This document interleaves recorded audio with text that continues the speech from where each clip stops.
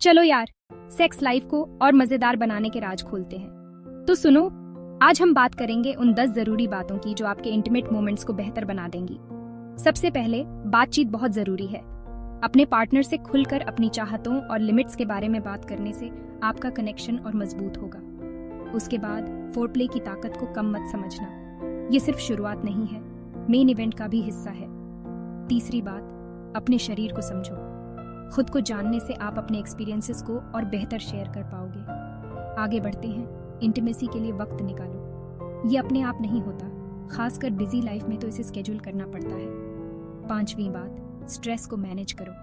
जी हाँ स्ट्रेस आपकी sex life के लिए बहुत खराब है। रेगुलर रिलैक्सेशन एक्टिविटीज़ करने से आपकी ओवरऑल सेटिस्फैक्शन बढ़ेगी। याद रखो सेक्सुअल सेटिस्फैक्शन सिर्फ़ फ़िज़िकल नहीं है। ये इमोशनल कनेक्शन भरोसा और एक दूसरे का सम्मान करने के बारे में है। तो इन सीक्रेट्सों को ध्यान में रखो और एक फुलफिलिंग इंटीमेट लाइफ का मज़ा लो।